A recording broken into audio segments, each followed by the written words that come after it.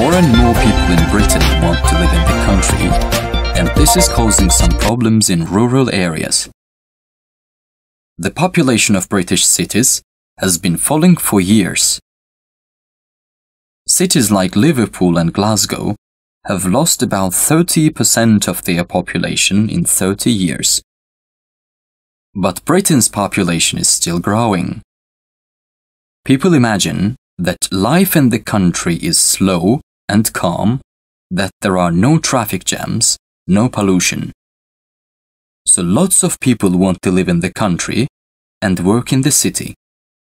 They travel long distances using cars each day to go to work. Of course, they don't use buses or trains.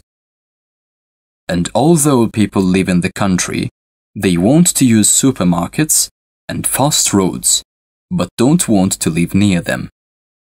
Traffic jams are now often part of life, even in the country.